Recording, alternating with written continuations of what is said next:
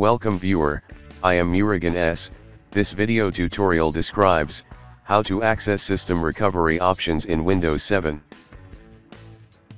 Continuously press F9 key to get Windows Boot Manager screen. Press F8 key to get Advanced Boot Options screen. Move up and down arrow key to select repair your screen and press enter key.